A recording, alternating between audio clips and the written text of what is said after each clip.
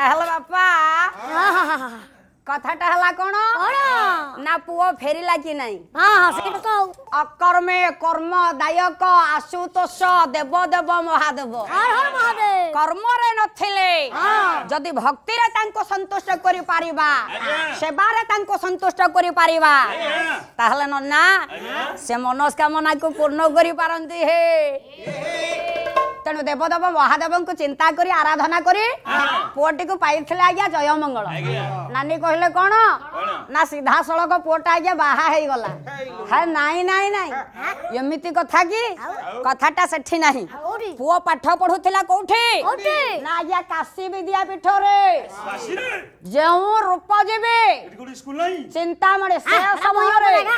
ସଂସ୍କୃତ ଉପରେ ଅଧ୍ୟୟନ କରିବା ପାଇଁ ଏକମାତ୍ର ବିଦ୍ୟାପୀଠ ଥିଲା କାଶୀନଗରୀରେ ନାନୀ ଜାଣିନାହାନ୍ତି କାଶୀ କୋଉଠି ଅଛି ଆଉ ତାହେଲେ ନନା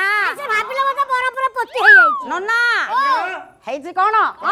ନା ପୁଅ ପାଠ ପଢୁଛି ପାଠ ପଢି ଆଜ୍ଞା ଚାଲିଛି ଆଉ ଅଳ୍ପ মাস ভিতরে পাঠটা শেষ হয়েযিব ননা প্রধান আচার্য ডাকিলে আজ্ঞা বিলুয়া মঙ্গলঙ্কু নিকটকু কহিলে দেখ বাপা কিছু দিন পাই মু বাহারকু চালি যিবি তেণু তুমকু গোটে কাম করিবাকু পড়িব এই রুদ্ধ কোঠারির দায়িত্ব মু তুম উপরে নষ্ট কলি এ কোঠরীর দ্বারদেশ কেবে তুমি উন্মোচন করিব না ইয়ে শুণবা গুণিক জন্ম আরে ভলা দেই করি মন গণ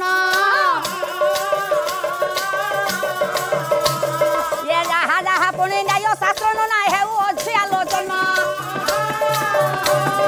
ପ୍ରଧାନ ଆଚାର୍ଯ୍ୟ ଚାଲିଗଲେ ପୁଣି ନିଜ କାର୍ଯ୍ୟରେ ସେ ରାଣ